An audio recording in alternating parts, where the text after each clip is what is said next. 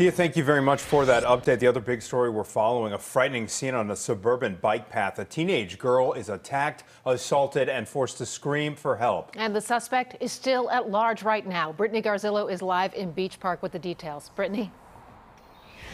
Well, Sally and Anthony, the assault happened yesterday at about 7.30 in the evening on Robert McClory Bike Path, a very popular bike path in the area. Thankfully, a resident nearby heard the teenage girl screaming and helped get her to safety. The Lake County Sheriff's Office says a 16-year-old girl who lives in the area was just going for a walk on the bike path just north of York House Road in Beach Park when a man started yelling at her. She ignored the man, but a few minutes later, he then appeared out of the tree line. Police say the man grabbed the teen by her neck, shoved her to the ground, and then took off her clothes and sexually assaulted her.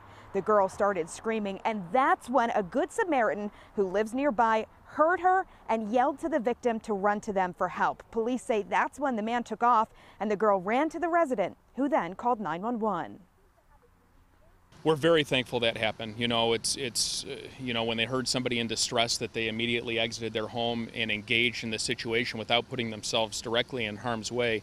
And certainly, we think that that contributed to the attacker stopping the attack and fleeing. Um, certainly, had that not happened, we have to think worst case scenario, and, and that could have ended even worse than it did.